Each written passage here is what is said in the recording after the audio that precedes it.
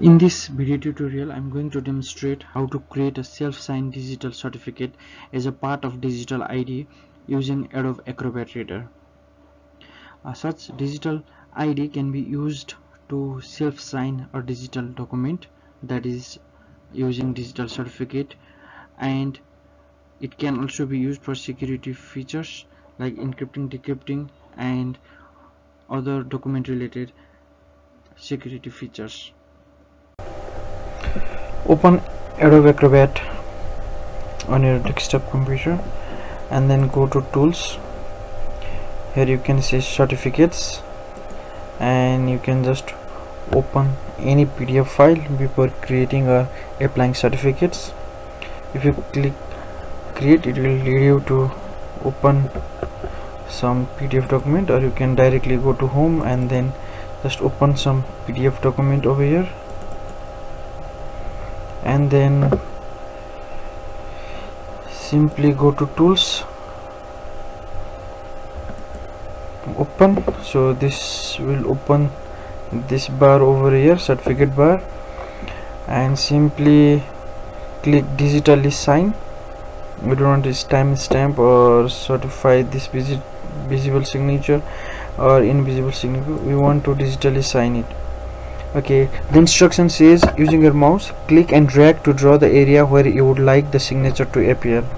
Once you finish dragging out the desired area you will be taken to the next step of signing process. Good to go? Okay I'm going to sign over here. I want to sign this document using my existing digital ID you can import your digital ID from file or roaming digital ID server or device connected to this computer. In this example we are going to create a new one. That's why select this option. And you have two options to a digital ID to where to store your this just self-signed digital ID on a Windows certificate store uh, this your digital ID will be stored in a Windows certificate store where it will also be available to other Windows application your digital ID will be protected by your Windows login and not by username and password. Whereas in this another option PKCS 12 digital ID file this will create new password protected digital ID that uses standard PKCS format.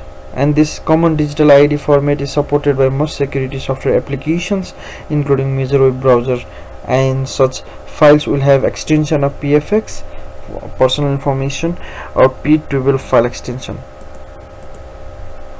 Okay. Just enter your identity information to be used when generating the self-signed certificate. Use your full name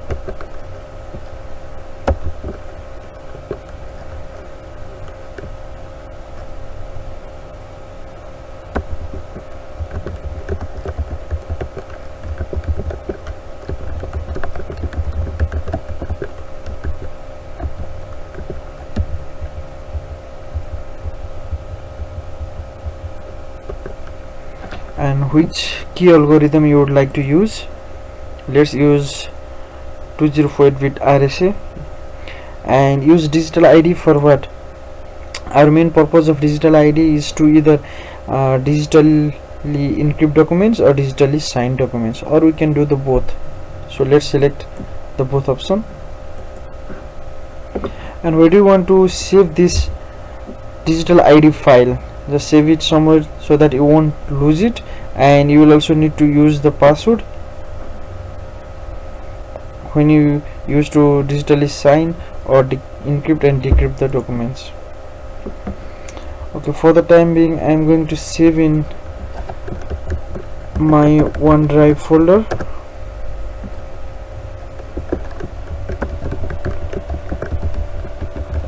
okay and then if you continue without entering any password it will say that password must be used because this password is used while decrypting your document.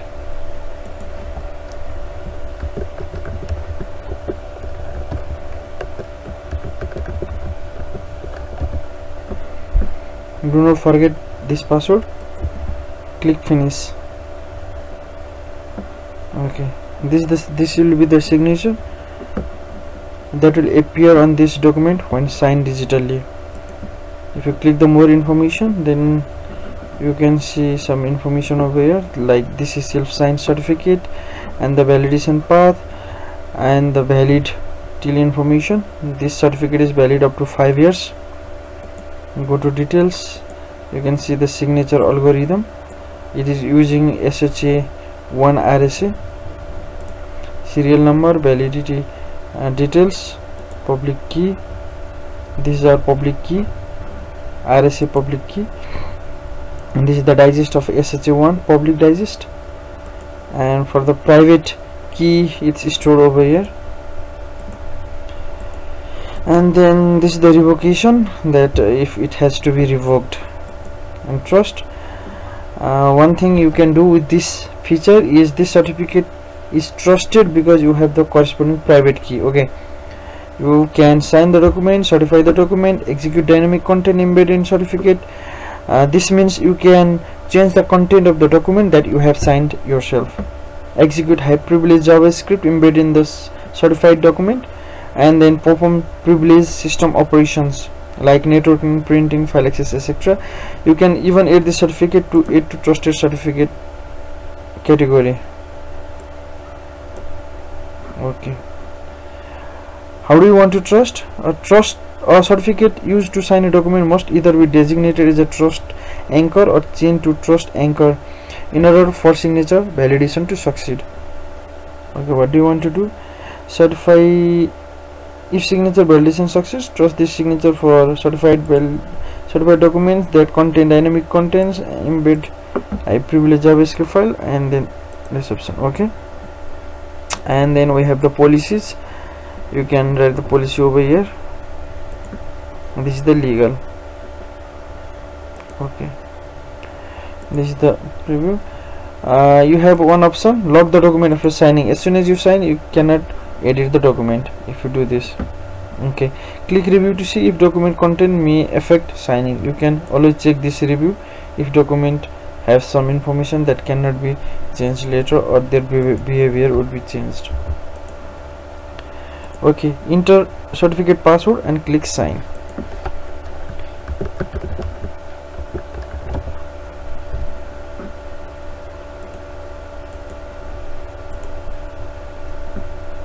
Okay this is asking me to create a new uh, signed file. Okay so this will be I can write here is my signed signed document about notice 23105 okay. This is sign it says the sign and all signatures are valid. This is the signature panel who signed this document and if you click here then it will check the validity of the signature. You can even check the properties. Uh, you can check your own certificate. Even going to the advanced properties.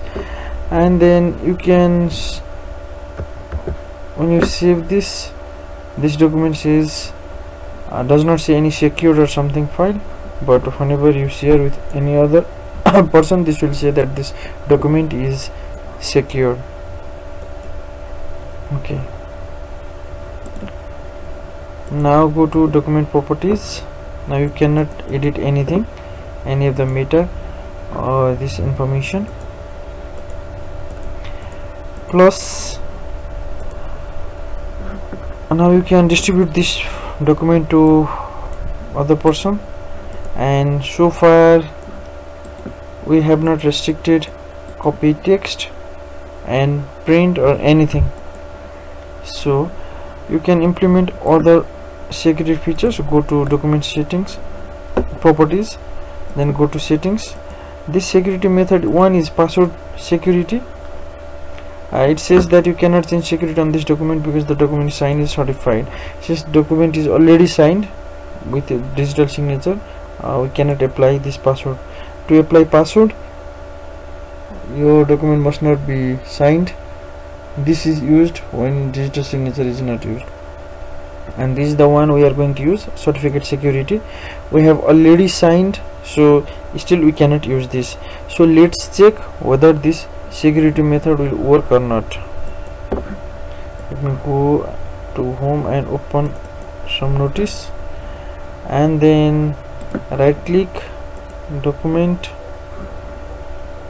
Go here certificate and this is oh, what do you want to do? Encrypt all document contents? Encrypt only file attachments? Encrypt all document contents except meta. This would be the better option because we don't want to encrypt metadata as it will be used by search engines. And encryption algorithm. Okay apply this. And then click next okay which certificate do you want to apply? We have two certificates. This is the certificate we just created. This one is the old one. Token based public key. Okay issue and then you can even add new digital id from this screen as well. Okay. So the changes. Change security. What can it do? Copying is allowed. This this this. We can go to permissions and then restrict restrict printing and editing of this document and its security settings. So it will not allow to print it will not allow to change. Enable text access for screen readers for visually impaired. I think we need to leave it intact. Okay. And detail you can always check. Click next. This is the summary. Finish. And you just need to save it okay.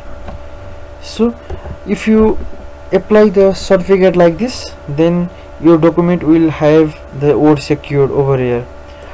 For this document you have digitally signed but it's uh, it's not showing any secure word over here. So go to the right click document properties and then you can still change the meta now save this file right click you are the owner. You have the certificate on this laptop installed. When you share this document with somebody else and just try to right click it and open. So this way you can use di digital certificate in two way. One this way signing and another way applying the certificate. Security feature. In which you can you don't see the security signature but it's secretly applied that's good to go. Now share this document with your friends or check this open this document via as an email attachment or from your mobile device and popular browsers and check how this security feature is implemented. On this slide it is showing that how digital signature works. The concept of the scope of digital signature here is global meaning this digital signature works or is transmitted via internet. This is user a where user a is using their private key to sign the document and this document is transmitted via the internet. And then user b receives the document with signature attached the signature of user a okay. So this is the user b. And then user b verifies the signature.